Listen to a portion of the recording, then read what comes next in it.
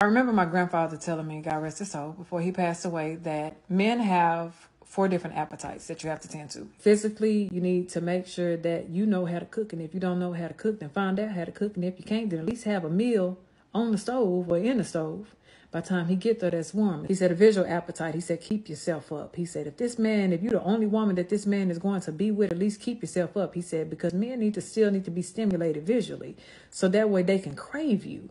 He said, and yeah, he said, love will still be there. He said, and although your looks will fade, you the one woman that he wants to look at. Give him something. And then there's a sexual. My grandfather told me, he said that, yes, visually you can stimulate a man. He said, but don't forget that men are sexual in nature. He said, and so they're going to want to do what they want to do to their woman. You're the only woman that he's sleeping with. You're the only woman that he desired. And then last one, he said, men do have an emotional appetite. He said, all men want to feel is appreciated, understood, heard. Have a question for all the men out there. Um, do y'all even want to be husbands anymore? The footage you're seeing is of me and my family being as carefree as we want to be, me believing that I was the luckiest man in the world and I was doing everything right, you know, as a father. Shortly after that, I would find out that my ex resented me immensely. She would end up putting me on child support while we were in a relationship, while we were still in the same house, okay? Which would ultimately put me in debt of over 50,000 to $100,000, okay? Obviously, the state would take my license, put me further into a hole, yada, yada, yada. But why did she throw me out? Why did she choose to go and ride the cock carousel? She was bored. We had been together since I was 18, and she decided to go and do what she wanted to do with a coworker. Oh well. Here's the thing though. She didn't give me warning. She didn't give me anything. She just started resenting me, started treating me like shit, and ultimately, she just threw me out. Hey, he says I'm not taking care of you guys. You see, you see this, right? I'm not saying anything. What are you talking about? Can you just say that? What are you talking about? You're You want to record I- me? I'm asking you not to I- record I- me, and but- it's against oh, the law. Okay, but I'm It's recording for my own for my own thing. I'm not using it for court, my dummy. house. Okay, I will, say. Just threw me out of our house, okay? And I was destitute, homeless. I ended up out here in Vegas. And to this day, she won't tell me why, what I did wrong to end that relationship. She was just bored. And in that time, I haven't had a relationship with my kids. She's turned them against me. Even this past Easter, I tried to go and visit them. They wouldn't even open the fucking door. Okay? Young men right now don't want to get married because older men like me tell them the horror stories of what could happen. I was in that relationship for almost 16 years. I didn't think that it would end the way that it did. Not with me just waking up one day and being thrown out of my fucking house. You get what I'm saying? Nobody believes that. Ending up in debt, like I said, almost $100,000 in debt that I'm still paying off this day. Struggling to keep my head above water because I invested everything into that family as I was supposed to. But now that I'm on my own, now that I'm now that I'm trying to navigate life, it's very difficult because I spent all of my youth under that woman. And I was it was my family. I didn't think anything of it. But we tell young men this because they need to focus on themselves. We see y'all videos. We hear what y'all talk about. And y'all are very open about y'all hypergamous nature. So when people like me get up here and tell people, no, don't don't don't tie that knot. Because you as a man will end up in a current in a similar situation. Young men are listening, and I'm glad that they are. I really am. Because if I had a time machine, the one thing I would go back and do is to tell myself at 18, don't pick up that phone when that girl called you and you fell in love with that woman. She will ruin your fucking life. First of all, you're definitely a single woman because Yes. you got the single woman tell that damn smoke detector. Mm-hmm. How do you live with that? Um, the way that I've been living with just being a single woman is No, like, no, no, no, no, no. Specifically, the smoke detector that keeps chirping. How Oh. do you live with that? Can you just elaborate more on like the what, what do you mean by the smoke? It it it, it keeps going beep. like red you- flags? You're, you're, are you- That that smoke detector that's beeping in the background. There's a smoke detector. um, It beeps every 30 seconds and it goes beep.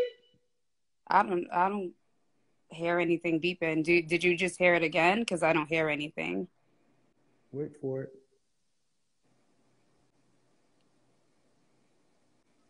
Told you guys they, they don't hear it after a while.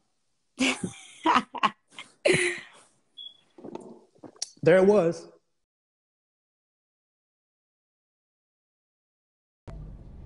I'm really exhausted from being alone.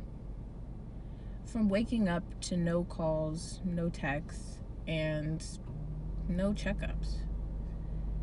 I'm tired of feeling like my conversation is a burden to someone else's life. I- I'm tired of driving around for hours and wishing someone was in the passenger seat laughing with me. I'm tired of wondering what it is about me that makes me the problem. I'm trying to figure out why I can't seem to get past my own insecurity of never being loved. I want to be able to understand why I've never been someone's first choice. And I want to be able to understand why I feel like I've never been someone's first choice.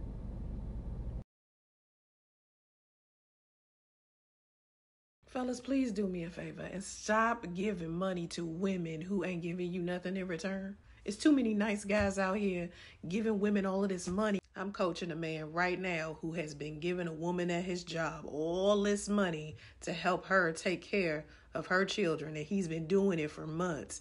And he has only asked her to go on one date. And do you think she went on that date him?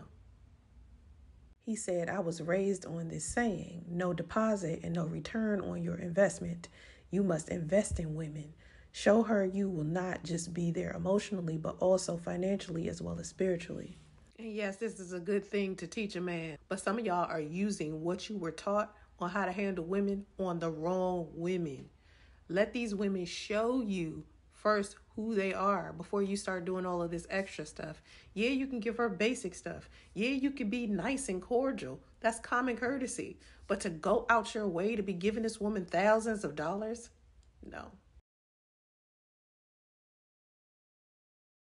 Yo, some of the shit that girls be saying be having me weak. So, quick little story time. So, there are three girls that I hang out with that I consider my actual friends. Now, there's some other girls that hang out with us sometimes too, but they're more of like acquaintances. So, one of the acquaintances asked me and my friends if we wanted to go to Miami with her and some other people. So me and my friends, all of us are in serious relationships. So we all were like, nah, we can't we can't go. We gotta sit this one out.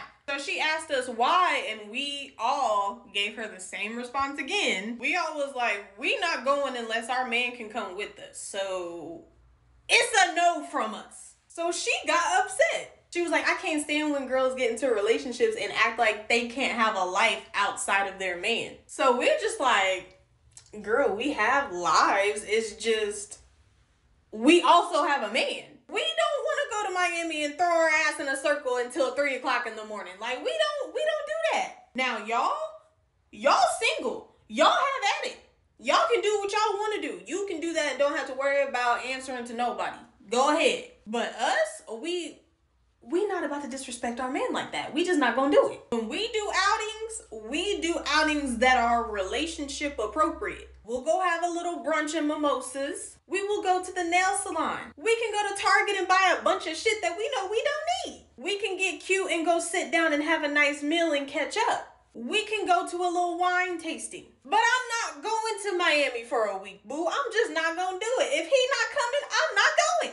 Especially since my man works a lot. My time with him is already limited. You think I'm about to cut out even more time to go to Miami for a week? Like, no. No. Now, if you ever want to do a couples retreat, boo, call me. But them girls trips, no. No, I'm I'm sitting it out every single time. I'm sorry, I'm not going. She talking about something y'all just too attached to y'all man. Your point? What's your point? What's the point? Cause you motherfucking right. Every chance I get, I'm glued to his hip. Okay, glued, not moving. So you just gonna to be mad, baby. You you just gonna be upset today. Y'all are really blaming black women for not crying and falling out on the floor because that black podcaster in Atlanta passed away. That individual put out hatred and violence, and in doing so, encouraged others to out hatred and violence, especially towards black women. I think y'all are way too used to black women just being there for you no matter how you treat us, and those days, baby, they're gone. Stop focusing on what they're not doing. The more you continue to focus on what they're not doing, the more you complain about or nag about what they could be doing better, they're going to receive it as criticism. The more they receive this criticism, the more you're going to notice they're going to become defensive. Whenever they become defensive, they're going to engage in whatever mechanisms they have to do to protect themselves. Okay? So, understand that there are multiple people or two people, depending on what relationship you have, who are coming in with differences, different ways of communicating, different ways of understanding, different perspectives, different ways of perceiving things. And two people or multiple people can add to whatever stresses or can add to whatever problems or can contribute to any relationship issues. Okay? Turn the flashlight on yourself. Ask yourself what you may be doing wrong or what you could be doing better. Think about it this way would you like someone to constantly be criticizing you? Would you like someone to constantly complain and nag about the things that you're not doing or the things that you could be doing better? Take the time to focus on what you can be doing better. Okay? Because just like you, I'm sure they want to feel appreciated for the things that they are doing.